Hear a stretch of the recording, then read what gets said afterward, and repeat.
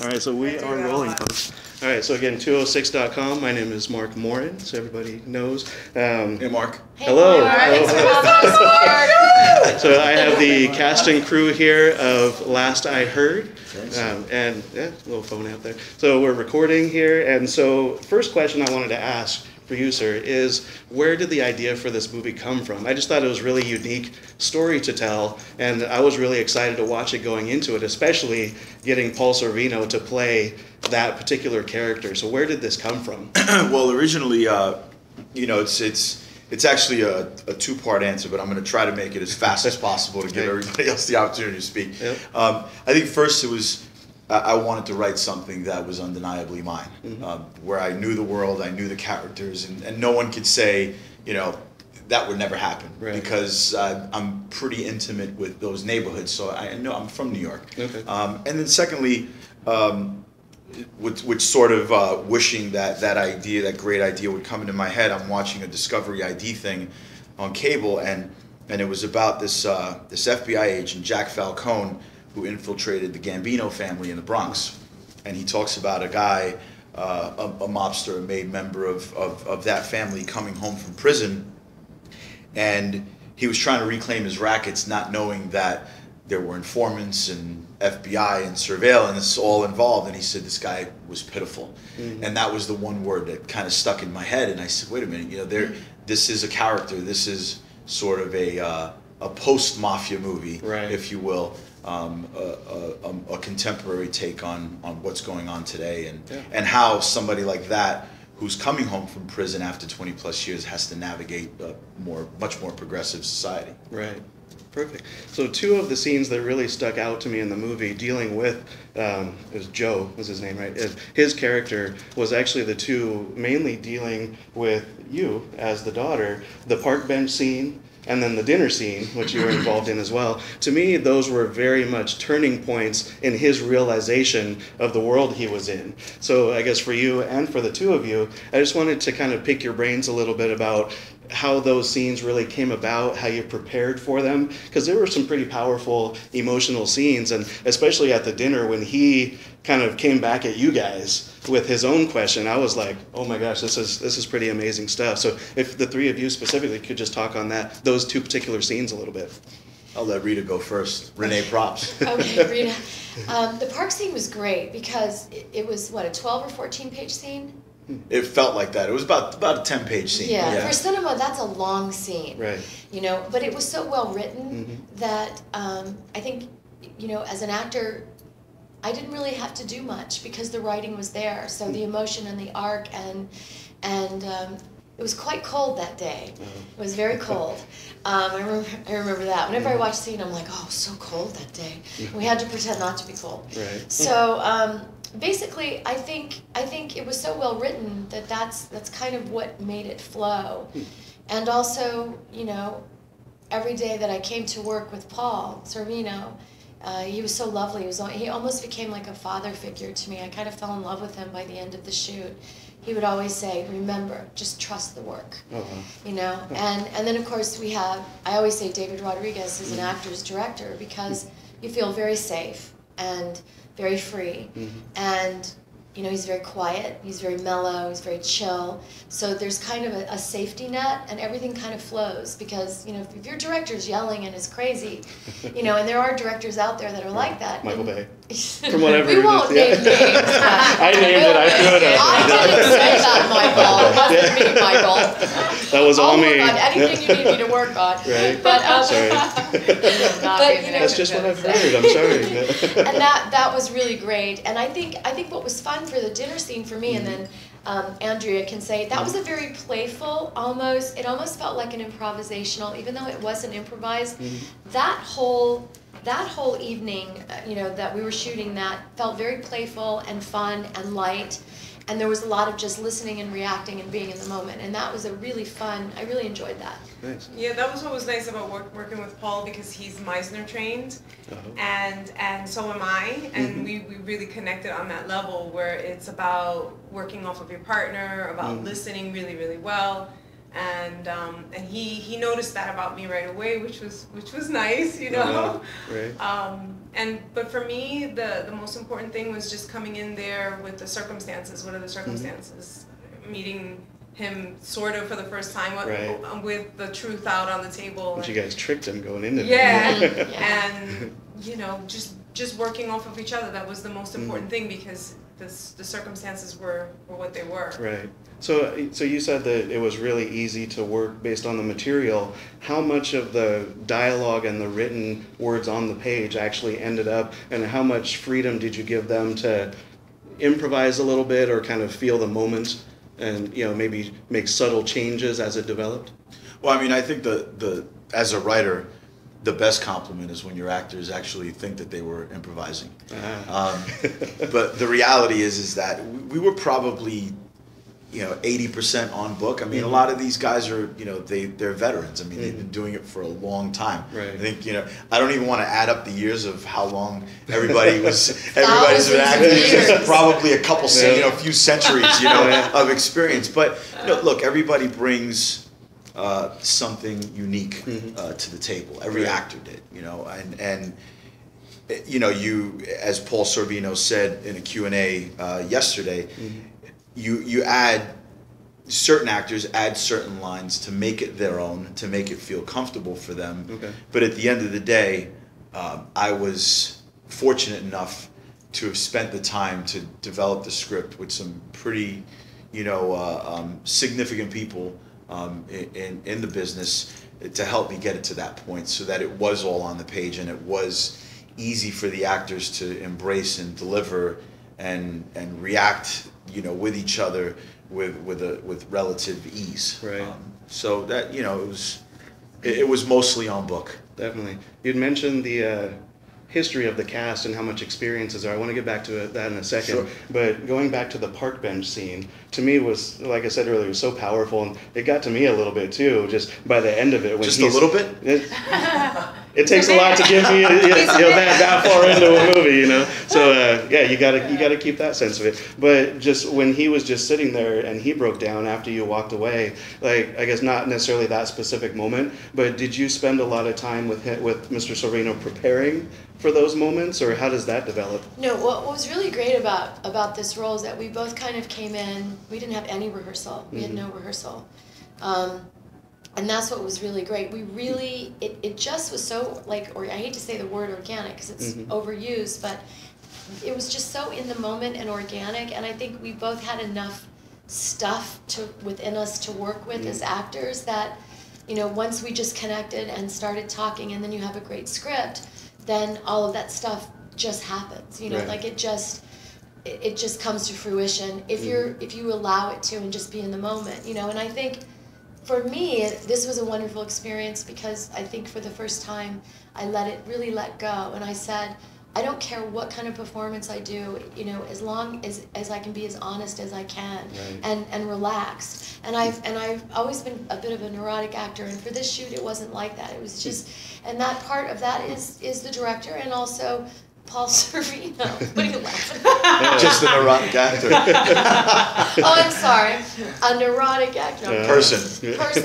Oh, person. Anyway. So it was just, you know, it was. Um, I think it, sometimes all the elements come together. You have Right. great writing, you have good act, you know, the acting, and and and the stars kind of align. It's not raining, Right. and something happens, and everyone kind of listens and are honest, and and then it's there. It's, Right. But also, you know, back to the just the cast in general, their the skill and all the years of, of training and experience um, allow the actors to be able to relax under those circumstances. A- lot of people think, oh, um, acting is uh, learning your lines Mhm. and putting on a costume and just saying the lines. Right. But uh, an everyday layperson can't just pick up a script and just say the, say someone else's words Right. as if they were their own. I wouldn't know what to do. Yeah, and, and a lot of people see it seems so effortless and so Mhm. easy, but it's like years and years Yeah, of, Right. training. of Yeah, training training, and, yeah. and doing it over and over. And So you- also too, Dave, the, the way that he cast the film is Mhm. that each person was just so perfectly cast. Right. But I said this yesterday, it's just like, you know, he planted it Mhm. and just, you let the flowers bloom. You know, Yeah. everyone just is really knows those characters and knows Right. how to bring them out. So Yeah. And that, great. that's exactly what I felt when I was watching it. it. Is like every time somebody like made their first appearance on the screen, I'm like, how did he put these this amazing cast together for being such? Um, I mean this in a great way. A more intimate, you know, smaller scale film. Um, just the the casting to me was was one of the most impressive things. So uh, speaking of the casting, I just want to maybe each of you can touch on. it. I know I feel like I've been just going your direction the whole time. So we'll we'll start back this way. Uh, how did you get involved in the project, and like where did it come about for you to take each of your roles? Oh, starting with, Sure. Yeah. um, Dave and I are best friends, so we, uh, we talk a lot. And, uh, so when he's developing a project, you know, if there's something that makes sense, I'll, I'll be a part of it. I've done Right. three of his features and a couple of other projects that he's been involved with, so we, we, we work together a lot. Mhm. And, uh, you know, that, that's, oh, this one, yeah, but this one was almost, this one was tough, because it was, there was a scheduling thing, it was, you know. Yeah, you were on in plain. He was on in plain Yeah, sight yeah. at the Oh, time, okay. and and it Right. actually almost worked out. We had to push a week for Michael for Rapaport, Okay. and then it just so happened that because we pushed that week, he was done with last I heard uh, with uh, in plain sight. Okay. And and then it was just just all fell into place. Oh wow. Yeah. Nice. Yeah. So sometimes just the puzzle pieces fit together for you. Yeah. It's amazing how, how that works, you know, Yeah. how conflicts happen. Right. Yeah.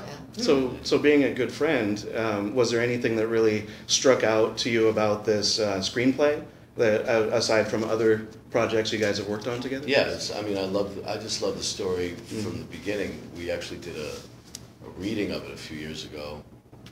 And, uh, you know, I think there was, we did a couple of readings, you know, and, and, you know, discovered a lot of stuff at that. And, you know, we collaborate and, Mhm. you know, asked me to read something, look at it, so, but, uh, I've, I've, I've been involved in the project, I think, early on, and I'm a big fan and a supporter, and, and, uh, so, you know, uh, I'm there to dive in whenever he says Right. dive. So you're so you're in from the get go then. Yeah. Cool. That's great. So whoever else wants to I like to go Yeah. next. Yeah, go because you mentioned the stage reading, and that's actually when I, I saw it. My father did the stage reading, uh, and Paul did the stage reading, and so I went to the theater to see it. Mhm. Actually, with with my friend Britt's brother Paul, we went together okay. and um, and watched it, and I was just so moved by the story. You know, Mhm. I come from New Jersey, and so I know these characters. Oh, you know, right. Italian, and I have a cousin Mhm. who uh, who had to. I don't want to give too much away, but did this basically the scene that happened on the park bench. She had to do Oh. with her Italian father, my Oh, uncle wow. Sonny, who drove a cab, who was you know Okay. probably reacted very similar to Paul's character Right, about this right. news. So I just thought this is an amazing story, and Mhm. um, and then years later, I was at a party with Dave, and I, I it was like the second question I said to him was like Happy New Year, and whatever happened with that script, Oh. you know, where are we at, and where are you at with it, and um, and so I came on board, and I said, uh, let's let's do this, let's find Mhm. financing, and let's and I want to be involved, and you know, and he offered me the role of Michelle, which you know was great, and Right. and. Uh, And she's a hell of a producer as well. Yeah, she's Oh, a hell of a Not only is she a great actor, but she's Yeah, a hell of hell a of a producer. producer. Multiple It- hats. It's just Yeah. about believing in something, you know, Right. and and uh, and and I believe in Dave. You know, Mhm. I believe in, I believe I believed in the script, and Mhm. you know, and I was just so proud to be a part of it. So that's how I got involved, and I was Right. lucky enough to be in it and and watch every scene. Uh, scene. And you know, as great of a writer as Dave is, what he does as a director is, is magical. And I've worked with some incredible directors, but he he trusts the actor, Mhm. and just like what Paul said, you know, trust the work. And and Dave did that and allowed us to just the freedom to just you know say the lines and just bring this whole thing to life. So it was an Right. incredible experience. Cool. That's great. Who's next? Well, actually, it goes back to the, that staged reading is how I got involved years ago. But I've known Billy for. Yeah. I've known Billy longer than any Longer than than anybody. Oh, really? Yeah. Oh, wow. We actually uh, almost grew up together. We we met while he was still in high school. Okay. Um, so uh, you know, I. Uh, I wasn't on Facebook at the time because I don't believe in Right. computing and all that stuff. Staying away But from my- the social media, Yeah, my yeah. girlfriend was like, "Hey, you know, Dave says here on Facebook is doing a stage reading out in LA." Da, da, da, da. And I was Right. like, "All right, I'll, finally, I'll sign up." And I got in touch with David, and I went out and I did the uh, I played I did the narration and a couple of the roles Oh, okay. that Yeah. weren't cast. So Billy then- DePaolo, you're the first original character That's Night. and uh, after well, yeah, and then I said, you know, when this gets on its feet, which I knew it would because he has a very skilled way of getting projects done and to fruition, I said, you know, I don't know if you want to have me be whatever, but I know I can nail whatever uh, I, Right. I'm suited for. And Yeah. uh, two years later, it, I guess it was about, and it got done. And, and what a great cast and crew that he put together. So I was just excited to be involved from the stage t- to the final thing, and here we are today. So Definitely. Sounds like kind of a theme of the movie itself. There's kind of a family organization Oh, going yeah. on there, so that's great. I like that. And Mario. Mario. oh, And Mario, yeah, Andrea. yep, there we go. Oh yeah, we haven't even heard from you yet. Sorry. Okay, uh, yeah. I was uh, very fortunate to meet Dave uh, a few years before uh, when he was working on a film called Push. Hmm. And um, he visited the, the deli. And two years after, he, a friend of mine, Ignacio Panapinto, I'm sorry, I'm a little nervous. my first uh, little interview here Uh, told me the good news that they wanted to shoot a movie inside the deli okay. where Which I is work. his deli. He owns the Right. deli. He owns the Yeah. deli, yeah. Okay. Forty fam- right. forty year family. So- So that's That's well, his business. I was gonna say that obviously it's an actual location. Oh, but yeah. You're actually probably very familiar with the Yeah. location then. Aside from that, cool. And uh, along with that, uh, I also got a gift, a- a blessing where I had the opportunity to be a part of this great movie. Right. And uh, He plays the Sicilian gentleman. Right. Okay. Yeah. The, the, Yep. He So he speaks. speaks the language. Okay, Yep. so that's right. Perfect Yeah. fit. He Yeah, has this perfect. with Sorvino. the Yeah. movie itself was very, I could uh, relate to it. Right. Because um, it's filmed in Middle Village, a lot Mm-hmm. of it. And it has, you know, the authentic, it's very authentic to, you know, to my everyday life. Right. You know? So, when I was given the opportunity to work with uh, Paul, which uh, was a lot easy for me to work with a great actor like Paul, because Right. he, he led the way, you know, for me to do my, my part. Uh, Definitely. and then from there, uh, you know, I find myself here. to the film festival. So you, you had no idea what you were getting yourself into there, great people, right? Right. And uh, Now he's got a three picture deal. right, right, right. Nice. but uh, you know, it's just a great, uh, great experience. Um, Yeah. Just living the moment, and uh, Perfect. I take it for what it is. It's a, Oh, that's great. it's all about the moment and experience, and uh, being around, you know, uh, great artists. You know, and uh, that's what I love to do. Right. And uh, that's it. Basically, uh, I can't say anything else. Yeah. No, that's great. Thank you very Yeah, much. I, I thank Dave for everything, you know. Right.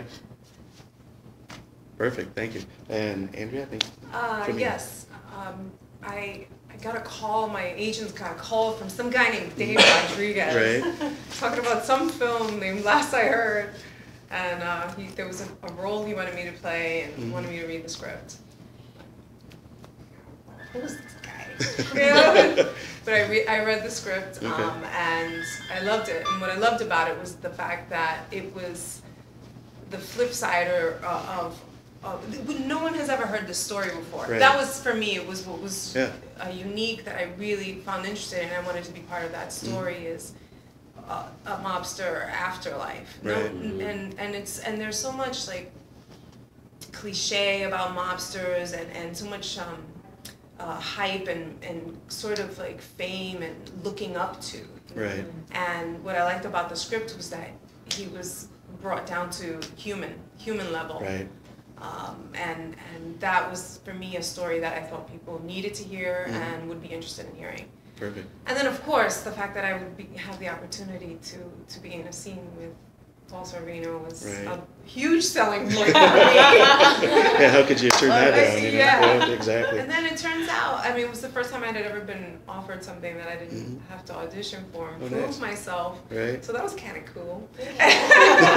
She got lucky that I had just uh, that my one of my managers Mhm. uh, I I could not get into How to Make It in America, Hmm. and then I started watching it again, and not and then I got into it, Okay. and then I got into uh, the Luis Guzman storyline where Andrea plays his girlfriend. Okay. And I saw her in that, and I was like, "Holy shit! This is like, am I, can I use that word?" Sure, why not? yes, yes, you can. Seven Holy seconds crap, this He is- doesn't have to write that. this is just this Said it. is funny and this is cool and, and and she was great in it so and and I also um, the, the the funny thing was is I because I know the Italian culture so well I thought it'd be kind of funny to give her a Latina girlfriend Yeah. Right. you know right. like wait a minute you know, a little bit of twist there. not only are you you know Yeah. yeah but anyway I'm No, gonna that's put great. another little dig in you, Daddy. Yeah. Yep, exactly. All right, well, I'm being told to wrap it up here, but can I ask one more question? Uh, And I'll try to make it quick. One thing I was really excited about during watching the movie is we're talking about the deli a minute ago.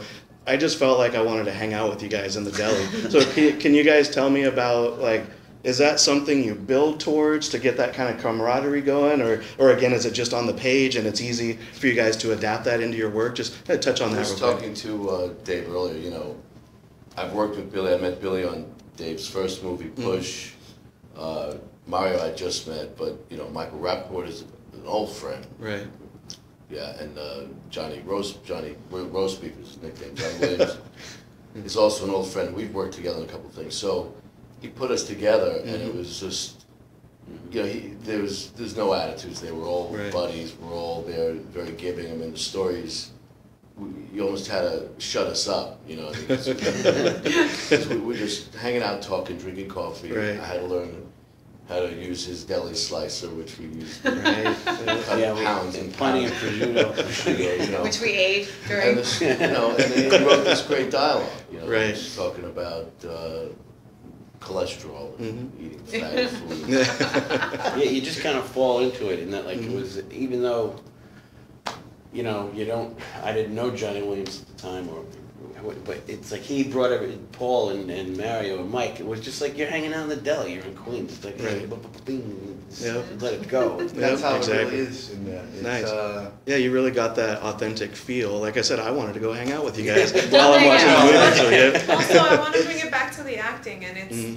that's where the, the, the talent and the skill and the experience Right. comes. Is that Because you it can looks be able looks effortless, and they can just bam, bam, bam off of each other, and that's Right. that's experience. In Mario's case, case, he's just brilliant. He just doesn't, yeah, he doesn't need. He's his naturally gifted. He opened his mouth and everybody went, whoa. Superstar in the making. Yeah, there you go. Well, it's true, even, in- even in this, even in what appears to be a small role or a s- easy role, uh, you know, there are times I know Billy and I were talking, did we do that right? Is that Mhm. okay? You know, you're still concerned, you wanna make sure you're authentic and real. Right, right. and uh, you know the environment is great, but you know I, I was just gonna I was just thinking about a moment like where I, I was asking I'd ask Mario, is that what is that how you do it? Is that what you do? Or, Mhm. or a local friend uh, Iggy, I was asking Right. about something. There's one line I do, I just threw in, and it was something that Iggy had said after a take when he said I'd smack him in his fucking teeth. Right. You know what I mean? And so that was something that, that one of his friends, you know, sort of responded to that scene. Right. So I threw it in, you know, he said throw it in, so I did. So and I actually used it Yeah. Uh, yeah, definitely. and it got a, and it got a laugh. I Yesterday. got Yeah, a I big laugh. it. Yeah. but it Yeah. is about it, it's almost it, it is it does take a, a long a long time to sort of cultivate the ability to Right. not act, if you will. You know, Right. Just to be sort Yeah. of No, that's a hang great way of out putting the deli. And because Yeah, Paul's a stage actor too, you know, I was watching Oh, this yesterday. He has behaviors that I think you learn Mhm. from being on the stage. You know, Okay. he doesn't just stand there and wait for the director to tell him something to do. He's making coffee. He's you know Oh, doing wow. stuff, and you guys are Right, like, here you go, light and sweet. It's like really Living, like you guys living. work, yeah, living Right. is living. Absolutely. Yeah. All right. Well, I could Right. sit here and talk with you guys forever, but we got to shut it down. So Thank you for thank having yeah, us. Thank you absolutely. Thank you everybody for you. being here. It's been an absolute pleasure. Thanks so, for having yeah, I us. hope it's worth your time. So appreciate it. Yes. Thanks, Marc.